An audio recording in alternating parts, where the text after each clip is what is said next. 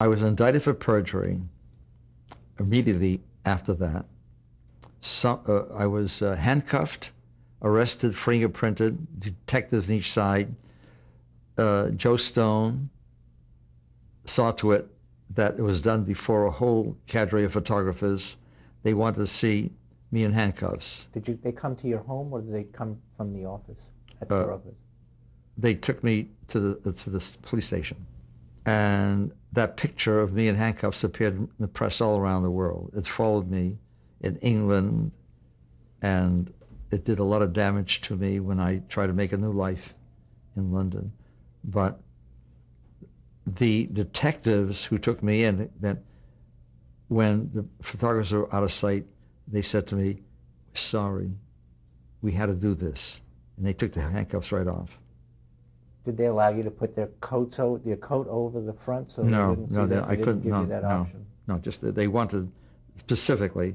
So this was Hogan's baby.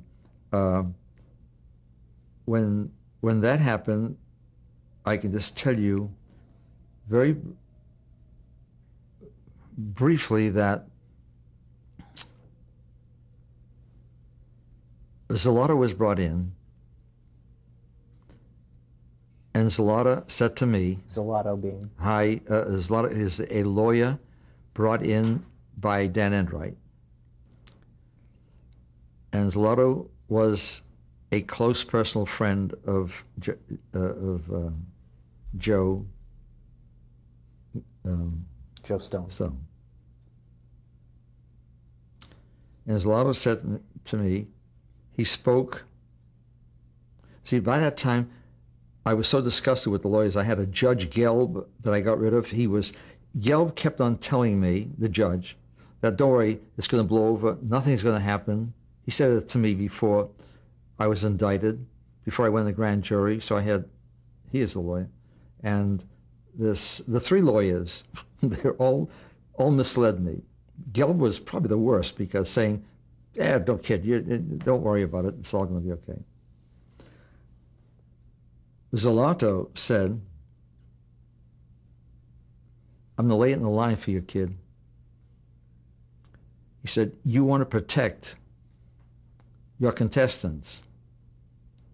But you know, you stupidly went into the grand jury. You lied. You were indicted. You know what you did? The worst thing you could possibly do for your contestants because Stone told me that he is going to send you to jail. There's going to be a trial. And he's going to bring on Van Doren. He's going to bring on everybody else. And these contestants in front at, at a trial are not going to lie. It's going to be a trial. They're going to, it isn't like a grand jury. This is a trial. He said, the only one who can save you now was Joe Stone, because Stone wants to get you. And he, he wants to make an example of you and scare everybody else. He says, the only way to get you out of jail is me. I'll arrange with Joe Stone that you go back in front of a grand, grand jury and tell them the truth. And what I'll do is, if you do that, and I know how you feel about your protecting your contestants, I'll see to it that no one will know about your going back, that your contestants will not be told, it'll be kept in secret, and that I'll make, I'll see to it. It's going to be a promise that that that that uh, Joe Stone will make to you, and he made to me,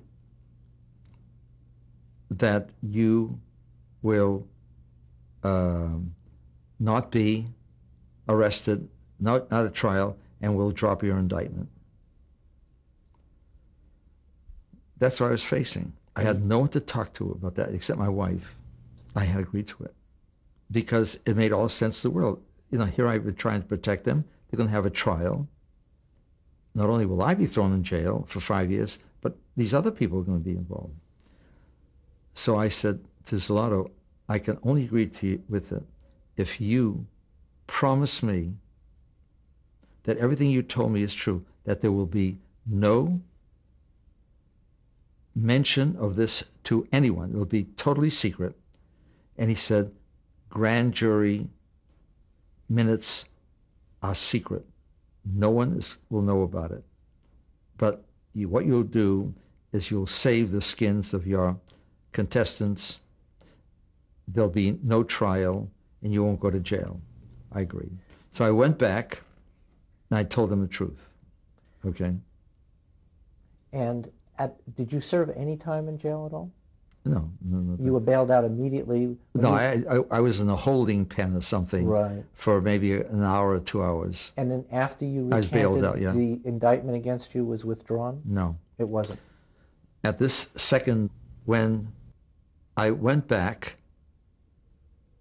and when Joe Stone questioned me in front of the grand jury, he says, was any deal ever made between you in this office that if you came back that you would not, that, that, that the charges would be dropped against you and there would be no trial? Now, no one advised me about that. I, did, I, was, I was not prepared for that. Now, what do I say? Do I say, uh, hey, we made a deal. We made a deal with Heiselata. but, So and I was so frustrated. I really, and I, so I had to perjure myself. again, Yeah, I had to lie to save the skin of the man who was who was started the whole thing to destroy me. And then they had me come back the following day.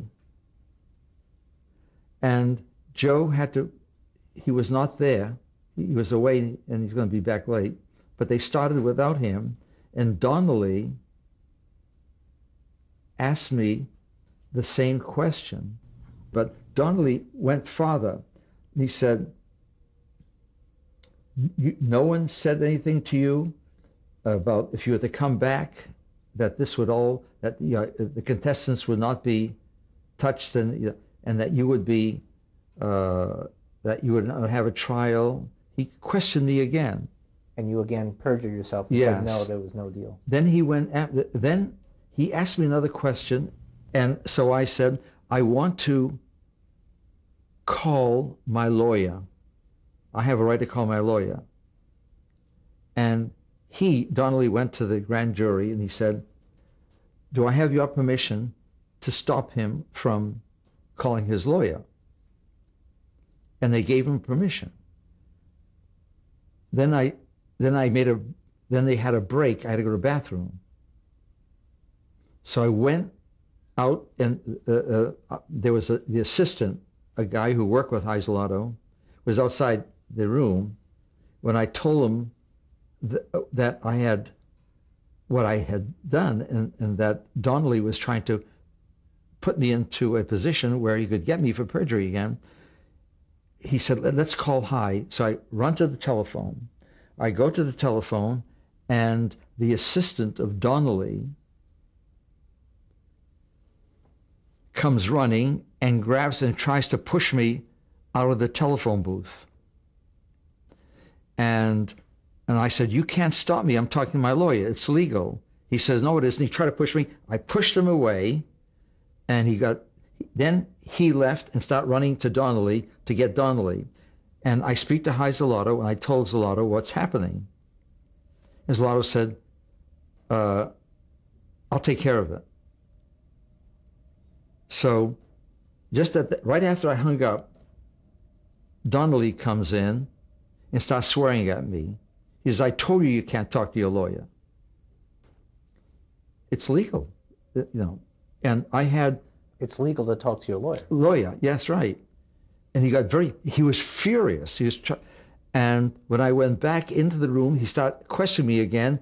And like in a Hollywood film, in walks Joe Stone, who takes over the questioning and saves me from, because I had no choice. The way he was questioning me, it's like he wanted, he knew there was something that I was protecting Joe Stone. He knew what was going on. And he must have known about Zelato, but it, my feeling at that time was that he wanted to destroy Joe Stone. Well, clearly, or Donnelly didn't know what the deal was. Or maybe he didn't know what the deal was. Right. Yeah. All right. Now, um, so at that point, did they withdraw the indictment against you? Were you then No, cleared? no. So you remained under indictment. Charges were not dropped against you. I remained under indictment, okay? And when I I said to the Zlato, I'd like to have the indictment dropped because I lost my insurance. I mean, I it, I was like penalized by, by having an indictment over my head.